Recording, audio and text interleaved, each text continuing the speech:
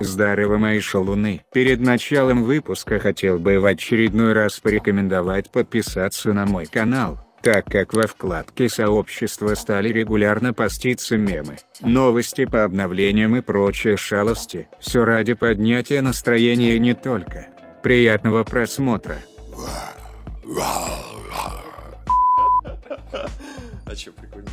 Как же попытаться догнать топовых игроков по боевой силе? Этим вопросом задаются большинство новичков и бывалых игроков. Но сразу констатирую печальный факт, что по боевой силе маркизов и выше вы вряд ли когда-либо догоните без вложения доната. Их поезд боевой силы ушел далеко вперед, и догнать их по крайней мере новичкам будет весьма проблематично. Да и те же лорды под сомнением. Хотя многие из них в одном из моих видео развели демагогию на тот счет, что взять топ-300 можно чуть ли не за полгода.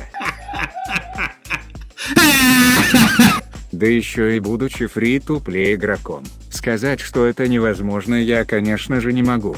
Но когда мне втирают, что это якобы просто тут и я не могу не согласиться. Для них просто это выделит целое устройство которое будет 24 на 7 фармить локации на фулбафах. Попутно донатя символический косарик на премиум в месяц. Как видите каждый сам определяет что просто, а что нет для мобильной игры. Но все же майнить сутками ресурсы лично для меня это must-have. Теперь непосредственно к вопросу видео. Собери хаос шмот и затачив его на тот же плюс седьмой круг ваша погоня за БС не ограничится, так как в игре помимо основного снаряжения есть такие вещи как ордена, камни равновесия и древние тотемы, пределы заточки которых не постигнут многие игроки, том числе и донаты как минимум еще за год. Открою секрет. Многие игроки, в частности донаты ценят каждую копейку вложенную в игру и как правило не рискуют с донатом, и усиляют ранее перечисленные предметы исключительно на 100%.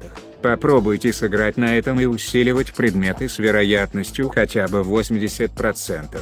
Конечно есть большой риск облажаться, но когда вы таким способом играете в рулетку при удаче у вас остается достаточно большое количество ресурсов для последующих усилений. Да даже на 90% у вас остается целых 10% ресурсов, которые по итогу скапливаются и выдают хоть какое-то преимущество. Я в последнее время усиливаю раз через раз, то есть сначала со 100%, а после с 80, если будет переть, то дальше ставлю на 70, в противном случае, повышаю до 90. Но всегда играю с рандомом, так как понимаю, что для моего так сказать расхлебанного стиля игры, держать планку боевой силы становится все труднее и труднее. Если подводить итог, то вот один. Рандом в этой игре решает все. Только с ним или с вложением кучи доната вы сможете будете продвинуться по рейтингу. Так что не боитесь рисковать. И да пребудет с вами удача.